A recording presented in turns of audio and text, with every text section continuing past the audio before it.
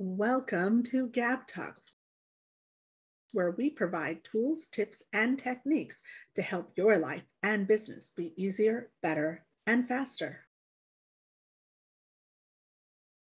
Hello, hello. How are you? Welcome to our next episode of Gab Talk Success Tips from Experts. I'm Gabriella, and on this episode, I am bringing to you an absolutely amazing lady who understands business. She understands how to get you to profitability. She understands personality and what makes you tick that gets you to where you need to be. So, welcome to our show, Sharon Galluzzo. How are you today? I am so excited to be here with you today, Gab. This is really exciting for me.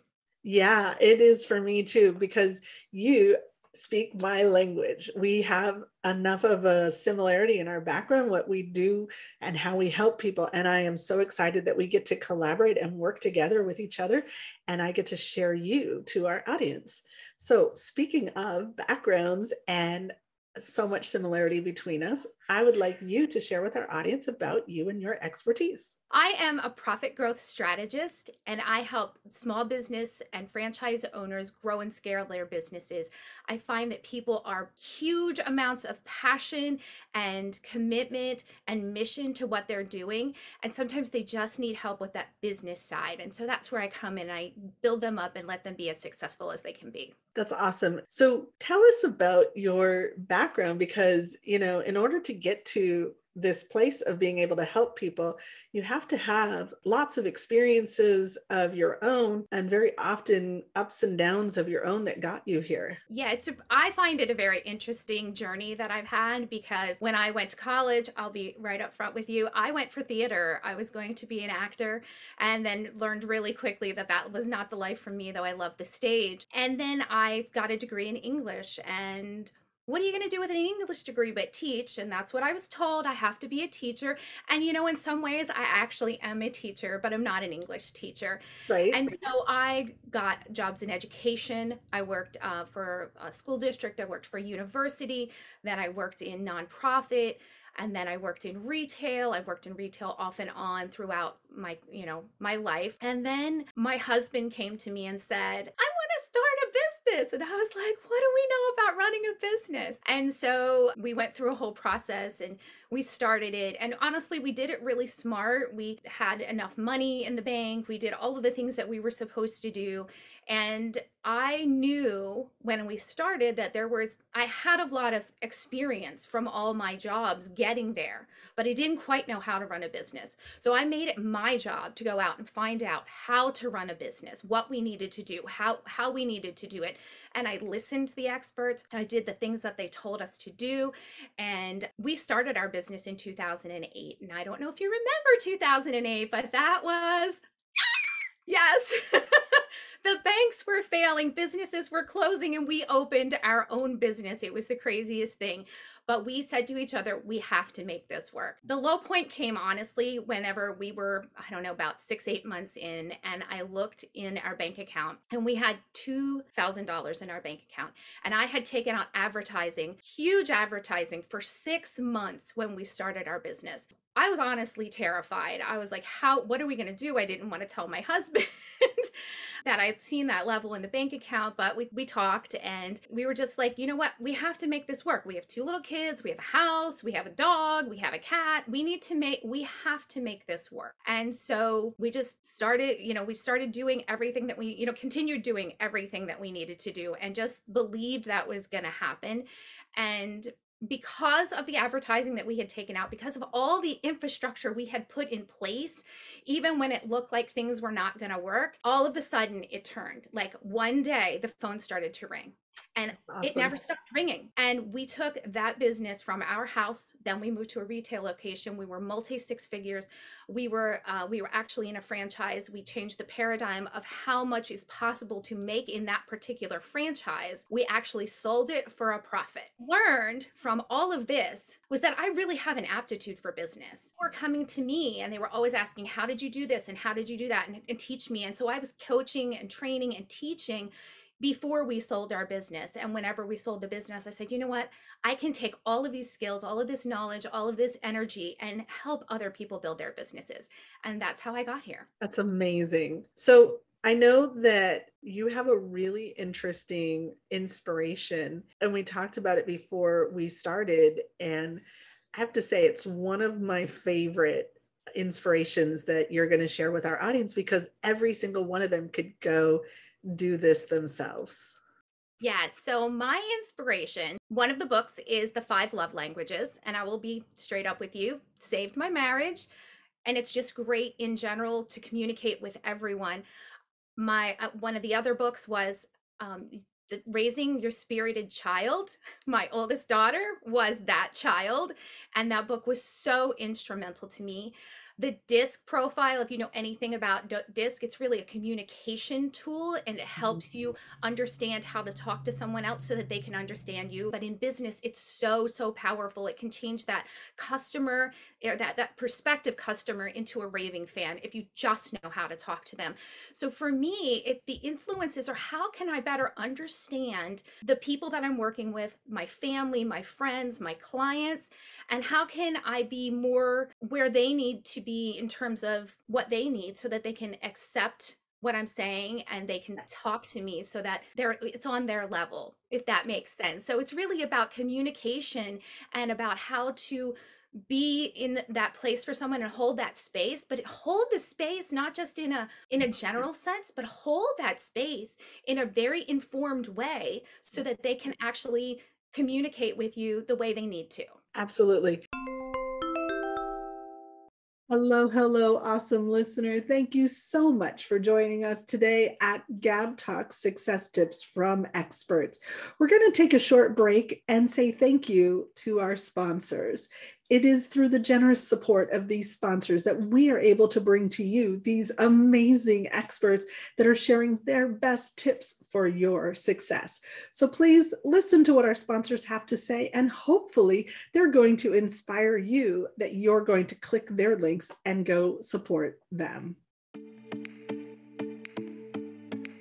It's time to take a vacation from processed foods.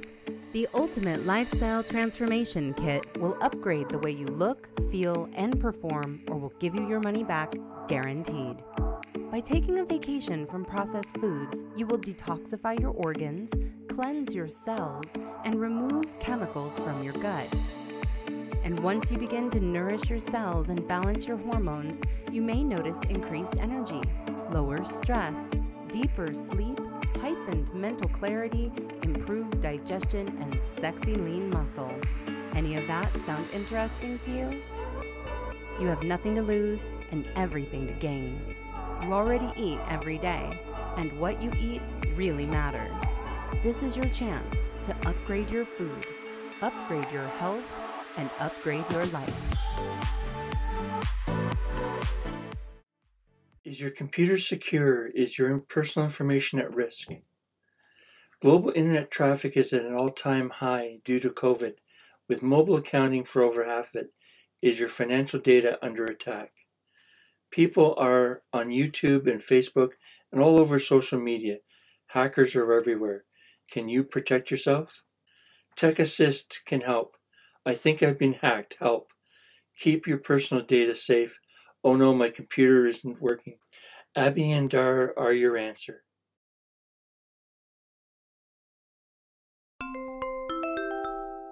So I love asking this question and I love the answers that we get from our experts. And I am sure that yours is going to be pretty awesome too. If you could go back and talk to your younger self, if you could go back and talk to yourself in 2008 when you were starting this company or when you were in high school and college and starting out in the world that that theater and english major and you could give one piece of advice what would you say? My piece of advice would be trust yourself everything that happens is happening so that you can use that later on. No matter if it's good if it's bad if it's a struggle if it's easy all of these things will sort of you sort of put in your toolkit. And then when you get to another point like oh i'm using all those skills I think if we turned around and looked behind us to all of our experiences, we would see that they led us exactly where we are today. And if it quote unquote fails, it doesn't mean you're a failure. If it is the wrong direction, but the right idea, go for it. It's okay. Trust yourself and believe in yourself and know that there are always people along the way that are going to believe in you too. That's awesome advice. So, you know, you grew a business and now you help people with their business. If I were to say, I need some advice to get off the ground and get this thing going, and I need it from Sharon, what would you say? My first piece of advice is always a question. If I told you, Gab, to come visit me at the beach, what would be the first piece of information you would need to know? Where or which beach? What's my address, right? You can't come to my house if you don't know where you're going. And a lot of times, that is the one piece that, especially passionate, mission driven owners, forget in their business what what are your goals? What's the destination? Where are you going? They go into their business and they work tirelessly and they are working on this thing and that thing and they're they're not getting any traction. They just go in. Sometimes they're making enough money to keep the lights on and that's all they're making. And because they don't have any goals any destination i've literally talked to so many business owners and i say well okay tell me what your sales goals are for this month or this year. And they don't have them. Something as basic as sales goals. And that's not because they're bad business owners, it's because they don't know. And that's what I help you do is find out what is it that that's missing? Where are those gaps in the foundation of your business that are keeping you at a plateau, keeping you from growing? If you build a house and you don't put a foundation on it, you can get one story. If you want to build higher than that, you're going to have to have a firm foundation. And that's where business owners get stuck. And then sometimes they they have a couple stories, they're they're building and they're ready to scale, but they're not quite sure then what to do. So as a yeah. profit growth strategist, that's what I help them with is what's that? Where where do you want to go? What's that destination? Once you know where you're going, then you just build in all the steps to get there. But if you don't have that really clear picture, then you're running around in that hamster wheel and and you don't know you don't really get anywhere. So other advice that you would give for someone starting out? The next thing that i would say is engagement you can be the most amazing business. You can have the best product. You can have the best service. You can be the absolute best. But if nobody knows about you, if you are the your industry's best kept secret, then you cannot have a business because to have a business, you are exchanging goods and services for money. Yeah. So you have to have they, they, there has to be somebody coming to give you money to make it a business. So how do you engage your your audience? How do you talk about yourself? How do you talk to them? Where are they? What are they doing? Where can you go and meet them where they are?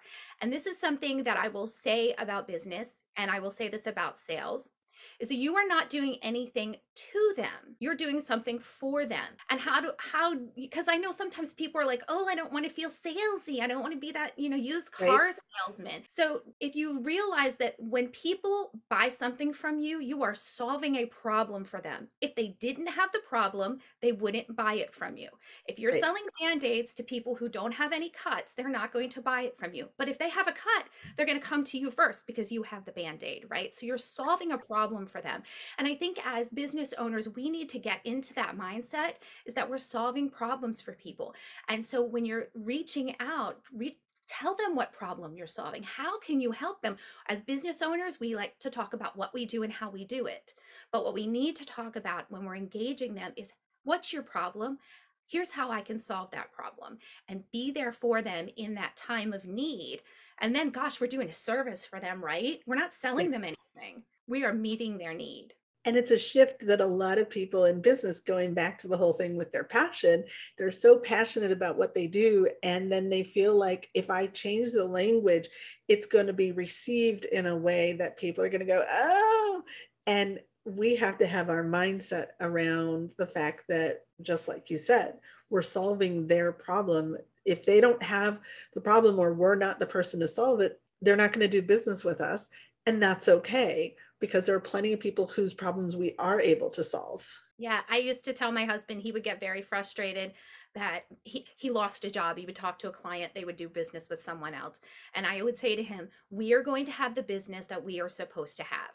and be okay with that because someone's going to say no but it's not because they're rejecting you it's because that's not the solution that they needed and we need to take our ego out of it and for coaches and for people whose product is themselves it's a huge huge deal everything is about us everything is about rejecting us when that's not what they're saying at all they're simply saying that service doesn't meet my need well, and the thing is, if they are in fact and actually rejecting you, then that's not someone you want to work with. Because if yeah. there's a disconnect in the personality that makes them decide that they are in fact rejects that connection, there's so many other people out there that you will connect with.